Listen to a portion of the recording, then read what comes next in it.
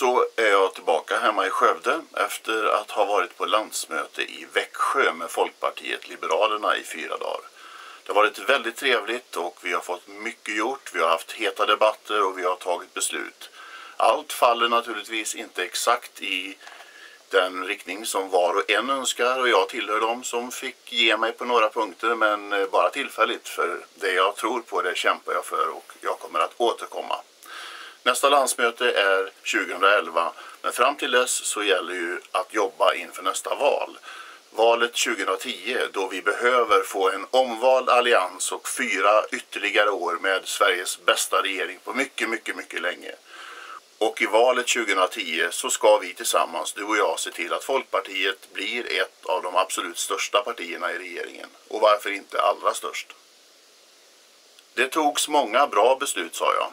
Och om vi börjar på ekonomisidan så är jag väldigt glad över att när det gäller skatterna så bestämde vi nu gemensamt, hela Folkpartiet, alla landsmötesombuden, att när det gäller skattesänkningar i framtiden så ska pensionärerna ta del av kommande skattesänkningar.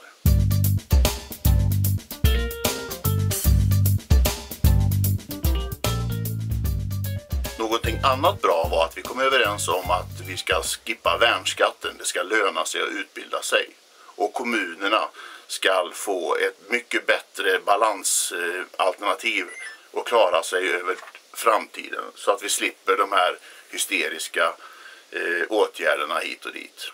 Utan när man har en god ekonomi i kommunen som vi har här i Skövde så ska man kunna använda den, de pengarna och de medel man själva har fixat i sämre tider vilket är fullt naturligt. Något som jag också är särskilt glad över är att vi i Folkpartiet nu kommer att agera för att vi ska ha säkerhet i att var vi än bor i landet ska vi ha tillgång till en god palliativ vård. Och vi tar ett mycket starkare avstånd nu från aktiv dödshjälp. Så har det varit tidigare. Partiet har sagt nej till aktiv dödshjälp men nu stärker vi det.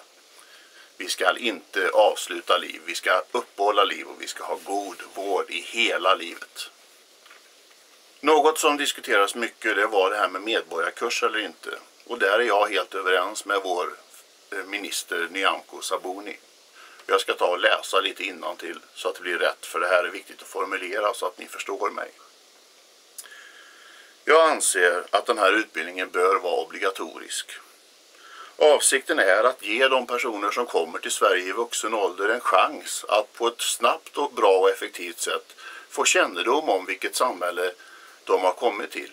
För att de ska ha en möjlighet att vara med och påverka vårt land. För det är så jag vill att det ska vara. Men då måste man känna till utgångspunkten. En sån kunskap efterfrågas av våra invandrargrupper. Och den innebär ökad trygghet för den enskilde när man väl vet vad som gäller. Jag menar att det ska vara ett krav för svenskt medborgarskap att ha genomgått en sån här utbildning. Och det är inte alls fel med ett prov. Det har vi för mycket annat, sådana enkla saker som för körkort.